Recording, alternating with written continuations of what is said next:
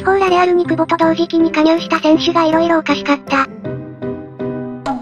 保建英矢印650万ユーロアリショー矢印1200万ユーロブライスメンデス矢印1400万ユーロサディク矢印2000万ユーロ。ちなみにサディクさん、レアルマドリーからイジャラメンディさんを買い戻した際の1700万ユーロを更新してソシエダ史上最高額での加入。遺作のパニックバイアン。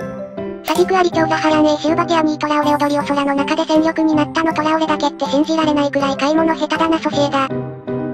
トラオレがフリー加入なのがまた皮肉が効いてるよな。まあ一応久保メンデスシルバーイサクーデボメリーのセルロとか大当たりもそこそこの頻度でいるから。クラブ史上最高額のサディク問題すぎだろ何しとんあれ。サディクに久保の3倍かけたんかよ今じゃサディク3人より久保っていう状況で草、桃町とかドリブルしながらパスできない、ドリブルしながらシュート打てない、何ならできるんやろな。カナダが暇そうだから冬に取ってあげて。